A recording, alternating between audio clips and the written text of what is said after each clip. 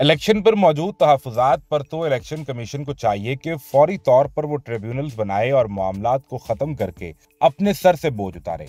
लेकिन लगता यह है कि शायद मरियम नवाज़ की हुकूमत को बचाने के लिए चीफ इलेक्शन कमिश्नर भी अपना भरपूर किरदार अदा करने के लिए मैदान में आ गए। लाहौर हाईकोर्ट के chief justice justice Shahzad Malik की जानब से ट्रिब्यूनल्स के लिए पहले जजेस के नाम भिजवाए गए। तो इलेक्शन कमीशन ने उन नामों पर इलेक्शन ट्रिब्यूनल नहीं बनाए। अब जबकि हुकूमत ने यह तैयारी कर ली है कि chief justice Lahore high court justice Shahzad Malik को सुप्रीम कोर्ट में फौरी तौर पर ले जाया जाए। तो जस्टिस शहजाद मलिक ने गुजश्ता रोज आठ इलेक्शन ट्रिब्यूनल्स को खुद नोटिफाई कर दिया था। लेकिन अब इलेक्शन कमीशन ने लाहौर हाईकोर्ट के चीफ जस्टिस की जानब ऐसी बनाए गए आठ इलेक्शन ट्रिब्यूनल्स के मामले को सुप्रीम कोर्ट में चैलेंज कर दिया है। इलेक्शन कमीशन ने लाहौर हाईकोर्ट के फैसले के खिलाफ अपील दायर कर दी है, जिसकी कल समात की इस्तदा भी की गई है। इलेक्शन कमीशन ने लाहौर हाईकोर्ट के chief justice justice Shahzad Malik की जानब से बनाए गए। आठ इलेक्शन ट्रिब्यूनल की तश्कील का फैसला सुप्रीम कोर्ट में चैलेंज किया है।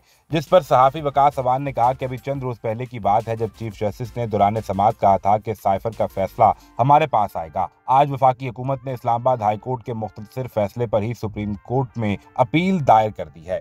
सवाल ये पैदा होता है कि इन अपीलों को रोकने या इलेक्शन ट्रिब्यूनल्स का मामला खटाई में पड़ने का फ़ायदा किसको हो रहा है? इस वक्त ऑपोजिशन का सबसे बड़ा मुतालबा यह है कि हुकूमत फॉर्म 47 पर चल रही है। अब ये मामला इलेक्शन ट्रिब्यूनल में जाएगा और इस्लामाबाद हाईकोर्ट के जज की जेर निगरानी बनाए गए रावलपिंडी इस्लामाबाद के इलेक्शन ट्रिब्यूनल के हवाले से भी उजर सामने आए, जिसमें पीएमएलएन के तीन एमएनए के केसेस इलेक्शन ट्रिब्यूनल में मौजूद थे। अदालत ने सवाल किया कि आप हमें एक हलफ दे दीजिए कि धांधली नहीं हुई, लेकिन अगर हलफ की पासदारी ना की गई और इसमें झूठ निकला तो फिर आपके खिलाफ कार्रवाई की जाएगी, जिस पर फौरी तौर पर हुकूमत भी उठकर इलेक्शन ट्रिब्यूनल के जज के खिलाफ इस्लामाबाद हाई कोर्ट में चली गई। और यहाँ तो अब चीफ इलेक्शन कमिश्नर खुद मरियम नवाज़ की हुकूमत को प्रोटेक्ट करने के लिए ना पहले से दिए गए नामों पर इलेक्शन ट्रिब्यूनल बना रहे थे। अब जबकि चीफ जस्टिस ने बना दिए तो इस फैसले को भी सुप्रीम कोर्ट में चैलेंज किया जा रहा है। गोया वो भी ये चाहते हैं कि ये हुकूमत फॉर्म 47 पर ही चलती रहे और ये मामला खत्म नहीं होना चाहिए।